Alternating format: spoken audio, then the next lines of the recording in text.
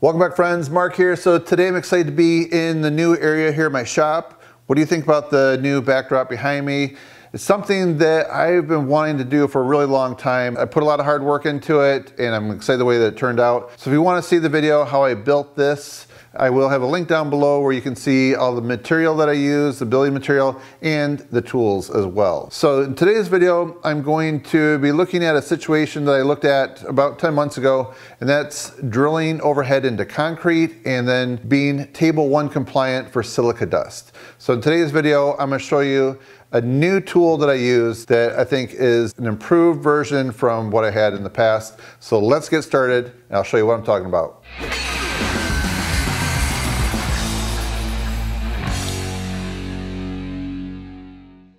So let's take a look above this suspended ceiling. This is in a commercial building and we have some one inch copper line. That's a water line right there.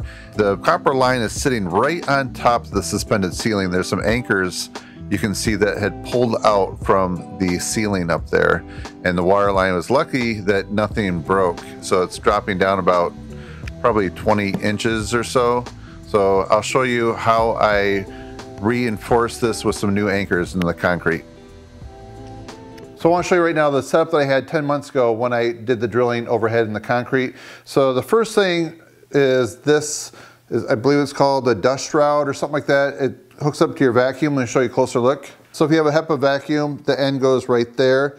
And then this end right here really causes a lot of suction next to like a wall or up in a ceiling. And this area right here is what pulls the dust in through a little hole right there.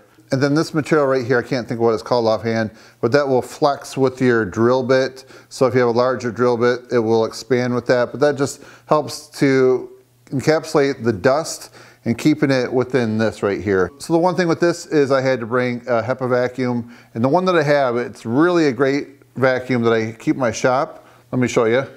So this right here, this is my Milwaukee eight gallon dust extractor. This is a HEPA vacuum right here.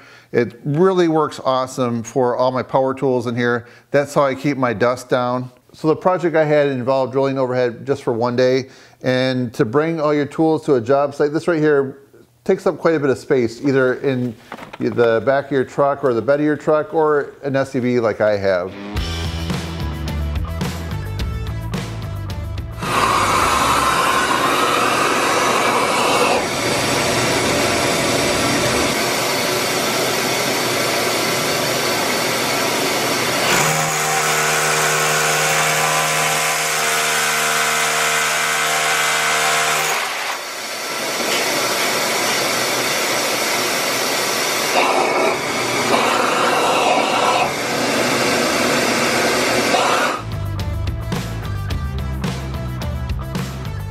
All right, so today I want to show you the Milwaukee 1-inch SDS Plus rotary hammer. So I'm using a 5 amp hour battery in here, and then this right here works really well with this shroud system, but I'm going to show you a portable system that requires no electricity. It runs right out this battery, and that is this right here, the hammer vac. So check this out. This makes it uh, all in one unit. You can see the rotary hammer clips into this right here. You can hear how it locks in place. Then if you want to unlock it, you push this button right here. And from what I've seen, it's very secure. Once that's locked in place, it's not going anywhere. So check this out. When I run it, You'll hear the vacuum run and then it'll continue to run for just a little bit and then there is a automatic dust cleaner. You'll hear it make three raps. So what that's doing is it's shaking out the dust off the filter. So listen to this.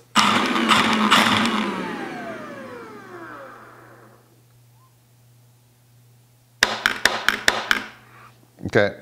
So then what you can do is you, when you're done with all your drilling or when this starts to get full, you can take this off and you can, there's a port on there. I'll show you right here. All right, so right here is a port, so you can hook your HEPA vacuum and extract the dust from that, or you can then shake this out like into a trash to properly dispose of it. So right here you have a couple adjustments, so let me show you what I did. So the drill bits I'm using are by Milwaukee right here. These are the four cutter solid carbide heads.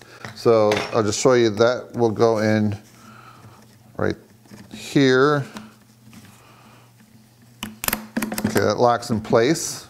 So this right here is a shroud just like the other one and it takes the dust and it pulls it into here, in through here, and then into this collection area right here. So let me show you how easy this is to pack up and bring to the job site and then I'll show you how it works putting this thing to the test. So this job wasn't too involved, so I can get pretty much everything I need in one or two Packout crates. So we push this button right here and it'll come off the hammer vac.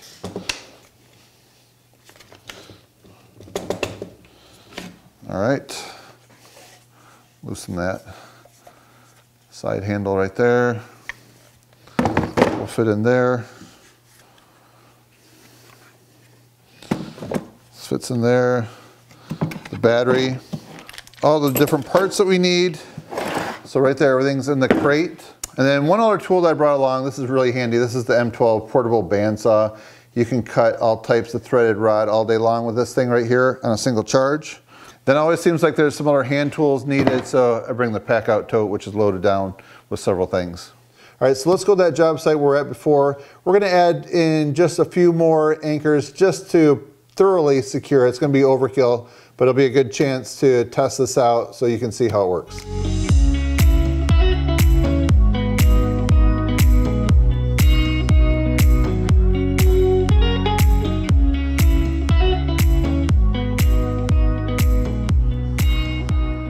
What I'm doing here is locating the spot where I want to drill the hole where I'm going to put the concrete anchor. I'm using a Sharpie marker going right above the copper line or close to it.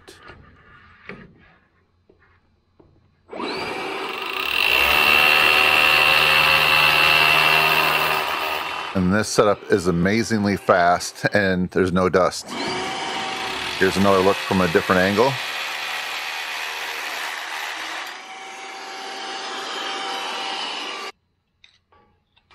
Now I'm setting the anchors. There's an anchor setting tool I don't have, so I'm just using a old Phillips screwdriver and a hammer to set the anchor.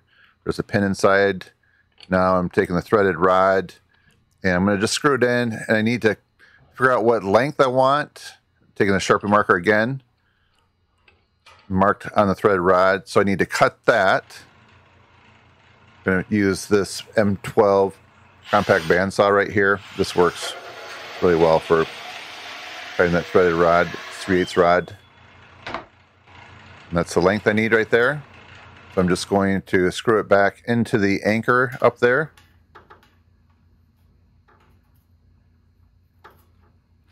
And this is the rest of the assembly, the hanger part. It's a two part, two screws that go in. And that is a really solid connection, locking that pipe in place. Now here's a close look at the finished results. That should definitely hold it. All right, so what do you think about this OSHA compliant drill right here, the setup with the HEPA-Vac I think it's just really awesome having it all in one unit like this. Very amazing. So if you have any questions about this or any of the plumbing that I did, let me know. I'll be happy to respond. All right, so I just wanna say my goal of this video is to show you guys some of the best tools that are available for doing some of the jobs like I did today. So if you find this video to be interesting, helpful, and informative, please give it a thumbs up and help support my channel. That's it, friends. Thanks for watching. See you next time.